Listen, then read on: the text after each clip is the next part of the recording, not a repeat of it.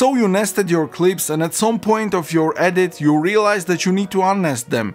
You right click on your nested sequence and search for the unnest option, but it's not there. There is no such option as unnest in Premiere Pro. I don't know why, but it's not there.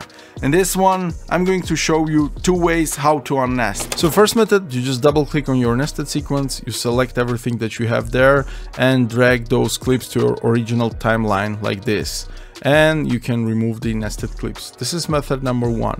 Method number two, you uncheck this, you right click on your nested clips and click on reveal in project. Now if you're going to drag those nested clips, they will be automatically unnested for you.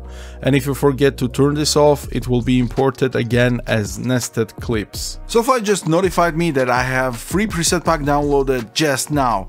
If you want to download anything, link in the description down below. I need to pack a Christmas tree and put it in the garage, so I'm gone.